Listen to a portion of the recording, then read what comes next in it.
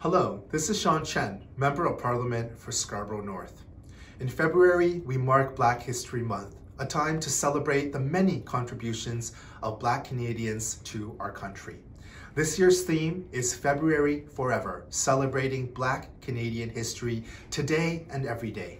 Let us continue to educate one another on the struggles and successes of the Black community, and as well work together to dismantle systems of oppression that continue to plague Black communities across the country.